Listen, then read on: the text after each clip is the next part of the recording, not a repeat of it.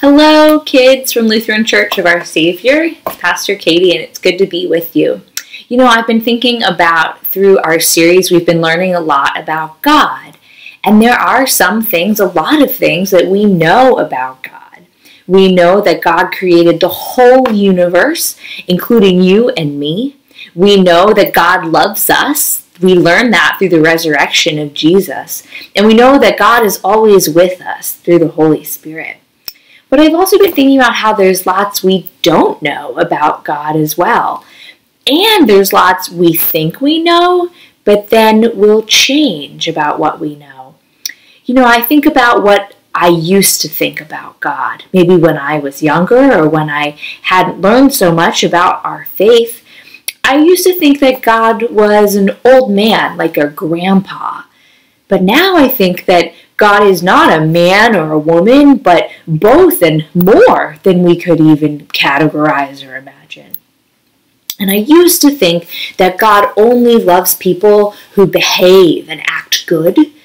But now I think that God loves all people, even those who don't always behave, don't always do good. I used to think that God was the only force or energy at work in the world.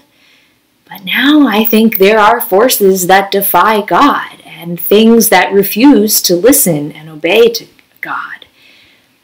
I invite you with your family, with your parents or your brother or your sister, to eh, share some of your used to thinks about God. And maybe you used to think God was one thing, but now you think God is another.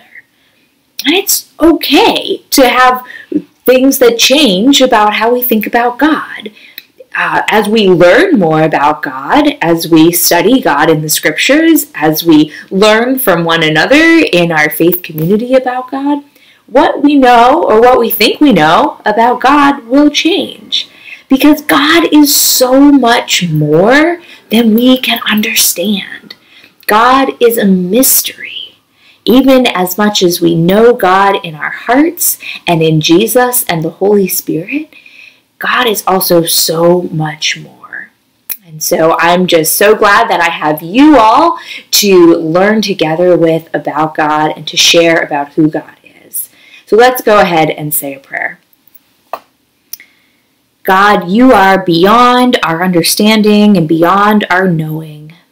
So keep us firm in our growth and firm in our resolve to continue to know you better through your stories, through the people around us, through these messages, through all the ways you are still coming to us during this time. In your holy and mysterious and magnificent name we pray. Amen. Amen.